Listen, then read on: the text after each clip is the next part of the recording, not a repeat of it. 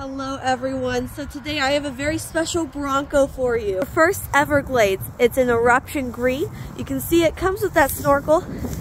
It comes with that gorgeous, gorgeous grill. The winch. Come around to the side. You'll see those fender flares, the rims, and those graphics. Open it up.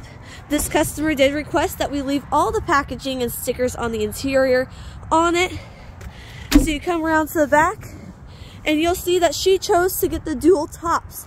So it came with the hard top already installed and it came with the soft top inside with straps and everything she needs for it. So on so it'll come in the back of it. You'll also see that it has the hitch with the four pin and seven pin wiring. Let's close this up for you so you can get the final look of the exterior. And there you go.